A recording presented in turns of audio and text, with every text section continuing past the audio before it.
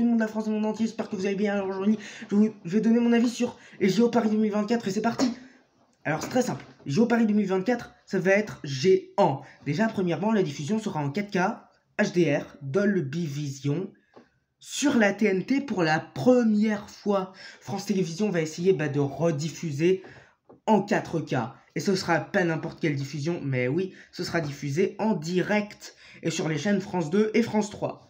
Et puis aussi, ça va bel et bien passer en 4K dans toute la France. C'est ce que va être une TNT, bel et bien plutôt, oui, modernisée, tu comprends? Modernisée. En plus de ça, moi je vais les regarder parce que j'adore les Jeux Olympiques. Bah parce que oui, moi j'aime bien les Jeux Olympiques.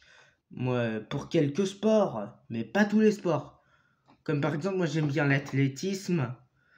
Comme par exemple, moi j'aime bien aussi.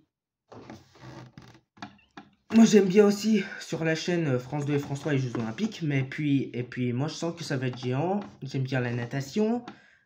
Euh, c'est pas à quoi vous pensez, sinon vous avez l'esprit mal placé. Ouais, mais sinon j'aime bien moi aussi sur les chaînes France 2 et France 3 qui vont diffuser les Jeux Olympiques. C'est que il y aura euh, un truc, alors oui, bah, le sixième animateur de télévision que je préfère dans mon top 10. Euh, ça, je vais en parler euh, dans une prochaine vidéo. Mon top 10 euh, des animateurs préférés. Et puis, il va co-présenter avec Léa Salamèche. Je sais qu'il va co-présenter une émission, oui, sur les Jeux Olympiques. Et puis, moi, je trouverais que ce sera plutôt géant, en fait, pour la chaîne. Ensuite, son directeur des programmes à France 2 et à France 3, c'est le même.